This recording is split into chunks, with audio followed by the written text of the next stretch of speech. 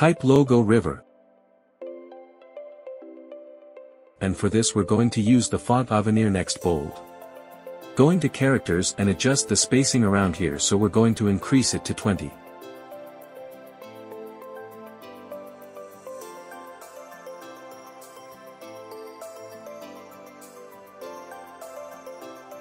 Go here and remove the fill color and we'll go to appearance right so open appearance and you already know you can open it from Windows. There we can just add a stroke and increase the stroke thickness and we'll change. The stroke thickness to white color like this.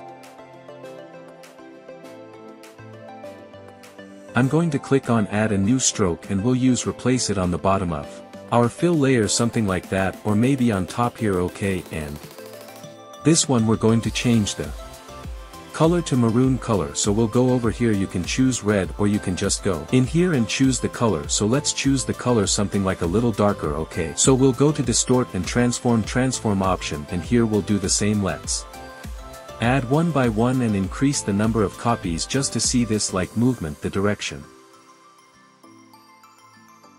We can choose the color something like that and a little bit darker okay? Yeah that's good Now we need a stroke again. I'll change the color let's say maybe we'll go over here and choose dark black color. Something like this okay and after that let's go to transform and increase the number of copies. Something like this okay.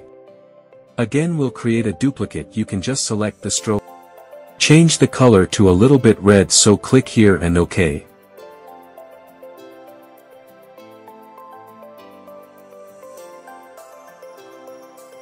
And let's increase the number of copies OK.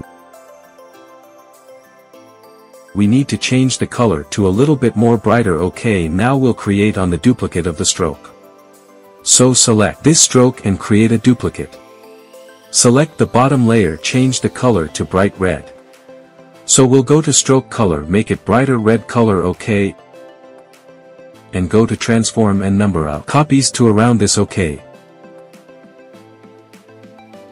Make it a little bit more red so I'll just increase it to red tone and OK.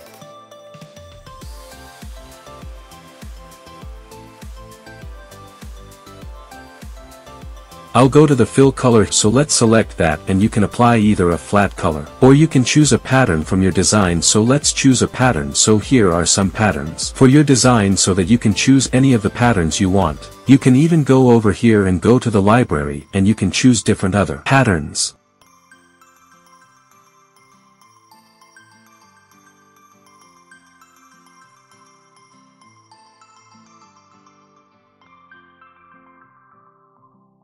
I think this one is looking good so I'll keep it that way and that's how we have created the second text effect. And as I have told you these texts are easily editable you can click very easily right and this one also you can just type here and it will be easily editable. And this is the second text effect here in Illustrator. For more videos please subscribe my YouTube channel. Thanks for watching.